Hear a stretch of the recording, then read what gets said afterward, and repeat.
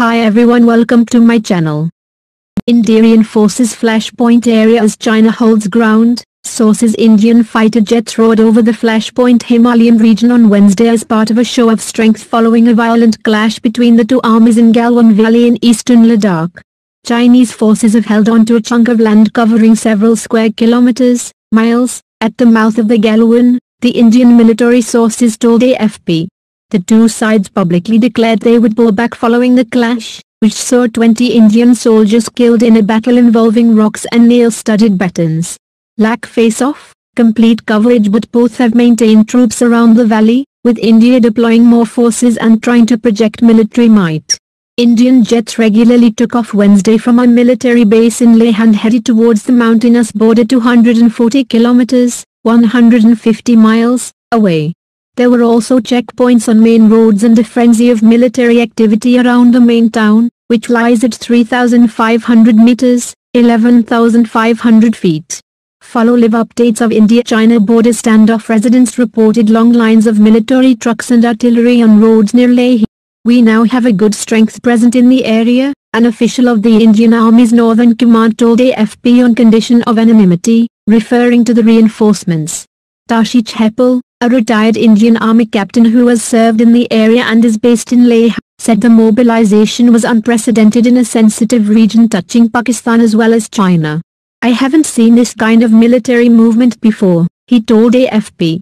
After the latest round of talks between military commanders on Monday, Chinese Foreign Ministry spokesman Zhao Lijian said the two sides had agreed to take necessary measures to promote a cooling of the situation but they made similar comments after a fistfight in May that proved to be a warm-up for the deadly clash at Galwan. Images taken on Sunday by the U.S. satellite firm Maxar showed trucks and huts at camps on the river at 4,500 meters, 15,000 feet, near the scene of the fighting. It was not clear whose army they were. The two countries fought a border war in 1962 but this month's fighting was their deadliest encounter in 53 years. According to Indian military sources, Chinese troops ambushed Indian soldiers and forced them down a ridge where they had gone to remove a Chinese encroachment. A bilateral accord prevents the use of guns, but the fighting was still fierce, reportedly with rocks and batons wrapped with barbed wire. China has in turn accused Indian soldiers of twice crossing the line of actual control, the unofficial boundary, provoking its troops. But the Chinese appear to be sticking to their gains at Galwan in the nearby Pangong Tso Lake, Police intelligence as well as military sources told AFP. China is now claiming the valley as its own, in statements that India has rejected. Indian analysts are dubious of the chances of a major easing of the tensions or that India will reclaim the territory.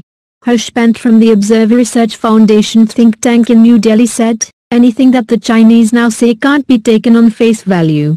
India, hopefully, has learnt its lessons now, amid calls for a boycott of Chinese goods, Media reports say Prime Minister Narendra Modi's government could make it more difficult for Chinese companies to do business.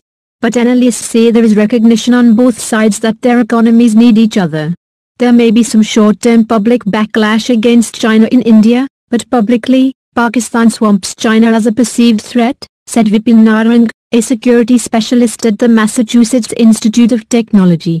The effects of this crisis, even if it slow burns, may be short-lived amongst India's public. And cheap TVs are still cheap TVs, please save the trees and nature, please subscribe my channel. Thank you.